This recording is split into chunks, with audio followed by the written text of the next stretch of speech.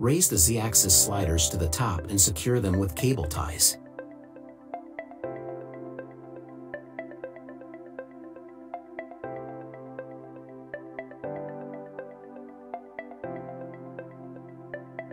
Remove the two PCS Z-axis top covers.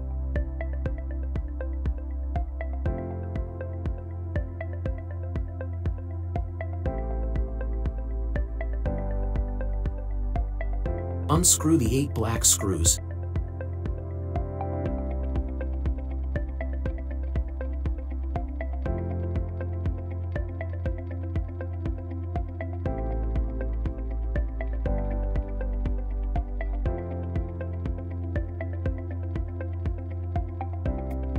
and the three silver screws at the bottom.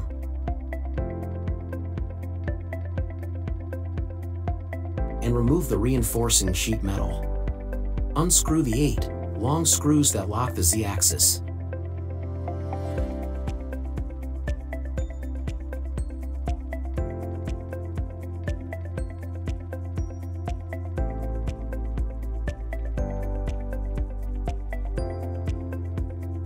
and the four short screws that lock the metal base plate.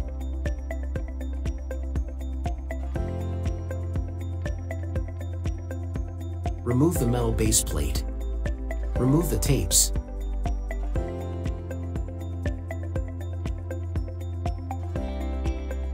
Unscrew the four screws.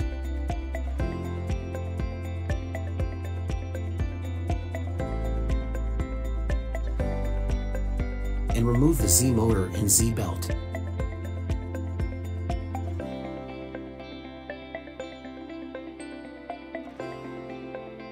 Unscrew the two tensioner adjustment screws, remove the two anti-rotation washers, and relock the two screws, do not tighten them.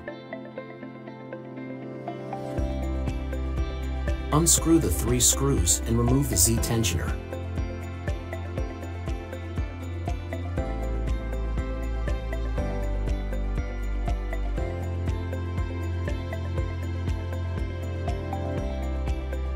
Align the installation square hole, install the Z tensioner on the bottom beam, and lock in the three screws. Arrange the Z belt according to the motion path.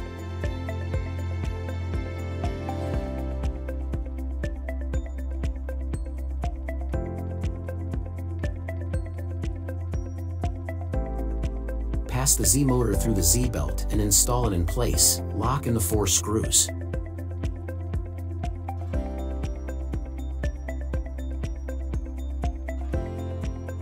Arrange the motor cables and secure them with tapes.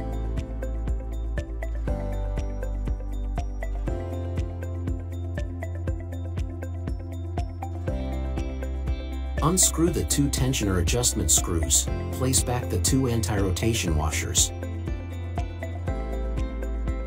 and relock the two screws, do not tighten them. Cut the ties and unlock the Z-sliders.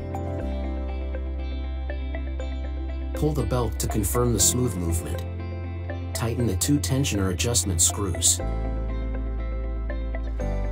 Install the metal base plate and lock four long screws on both sides to lock the Z-axis.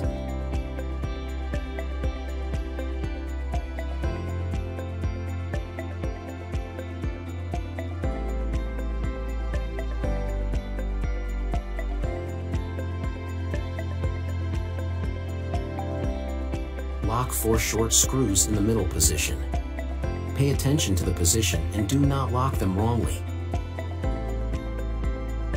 Install the reinforcing sheet metal and lock three silver screws at the bottom.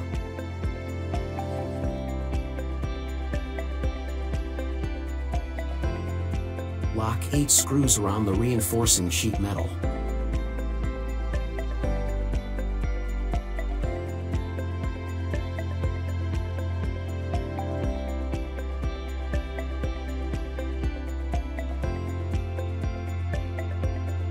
Align the installation groove and install the Z-axis top cover to the upper end of the Z-axis along the edge of the installation groove. Push the top cover inward to install it in place. Follow the same steps to install the other cover.